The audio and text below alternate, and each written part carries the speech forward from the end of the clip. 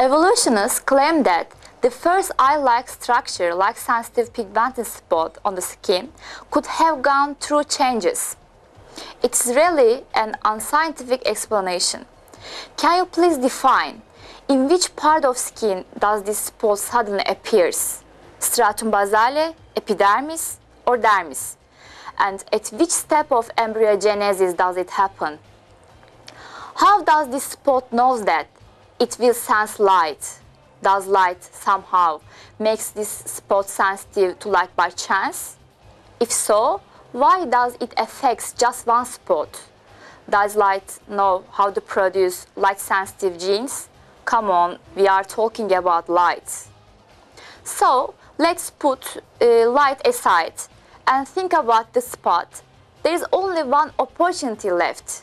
Our light-sensitive spot should emerge suddenly by itself. How does this spot knows that there is light out there, waiting to be sensed by someone? Is this spot more clever than other cells? Also, this is nonsense. I can never see object with my mouth, nose or skin. I can only see light with my complex structure eyes. If it was true, there should be an opportunity for me to see light with my skin. But as you know, I cannot see it. And all through generations, no one has ever seen with their skin.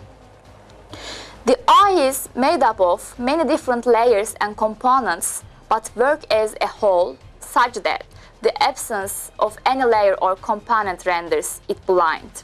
The cornea, iris, lens, retina, pupil muscles, pigments, tear glands, the cone and rod cells.